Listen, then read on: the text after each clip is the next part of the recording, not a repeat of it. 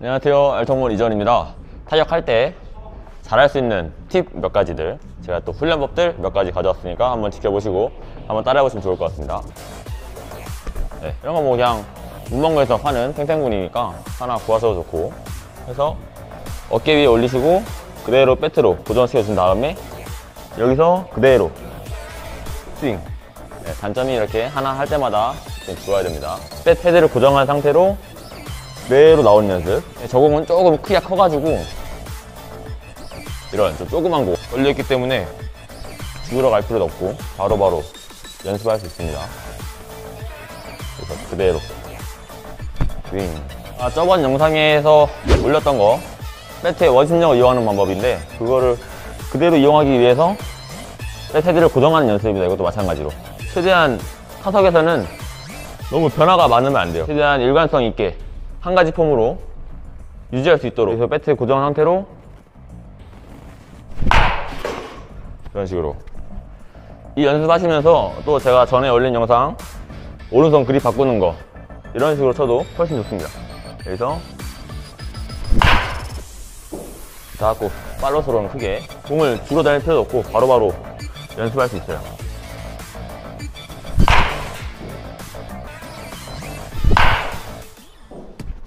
백 헤드를 고정하고 여기서 그대로 나오게.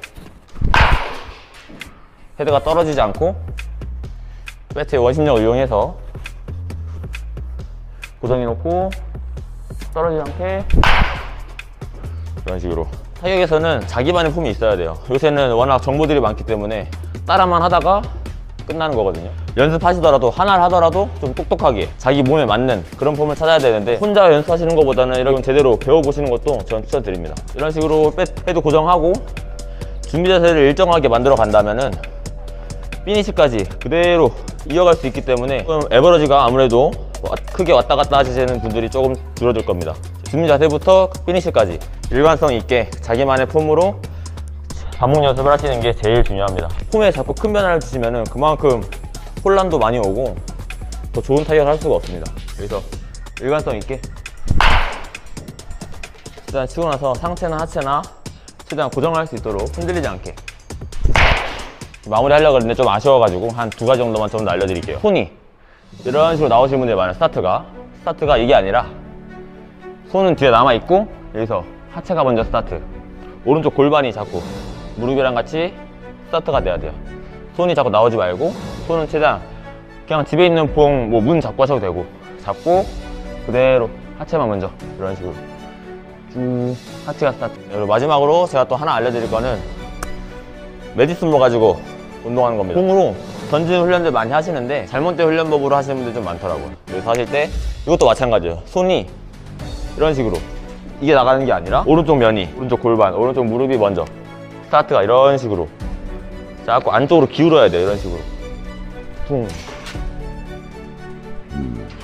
오른 면이 골반과 팔꿈치와 무릎이 그대로 안쪽으로 파고 들어야 돼요. 안쪽으로 이런 식으로 퉁 타격에 대한 팁 한 세 가지 정도 제가 알려드렸습니다. 자, 개개인마다 폼이 다 다르기 때문에 알려드리는 것들 적용해 보시면서 맞는 거는 가져가시고 아닌 거는 또 과감하게 버리시면 돼요. 여러 가지 정보들이 많기 때문에 자기한테 맞는 거를 가져가시면서 더 좋은 타격을 하시면 좋겠습니다.